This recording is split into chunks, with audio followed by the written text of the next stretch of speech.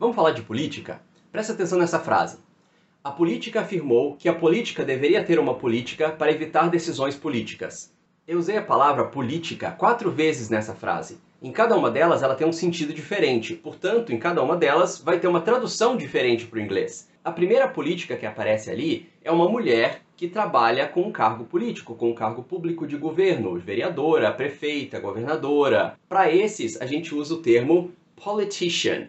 Serve tanto para mulher quanto para homem. A segunda política ali é a ciência do governo dos povos. É o conjunto de leis e pessoas que trabalham com isso, de governos, tudo isso junto é a política que nós chamamos de politics. Essa é a que a gente fala, ah, eu não gosto de falar de política, ou se eu falo que o jovem tem que se envolver mais com a política, eu não estou dizendo que o jovem tem que namorar uma vereadora, ele tem que participar das decisões da sua prefeitura e por aí vai. Nesse caso, então, politics.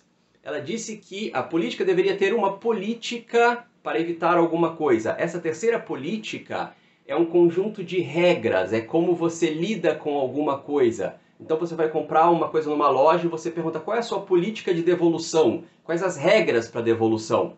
Esse a gente chama de policy. E o último política que aparece ali é o adjetivo de algo que está ligado aos governos, ligado à segunda política da nossa frase. E esse a gente chama de political. Então, uma decisão política, a political decision. Então, a frase a política afirmou que a política deveria ter uma política para evitar decisões políticas ficaria The politician stated that politics should have a clear policy to avoid political decisions.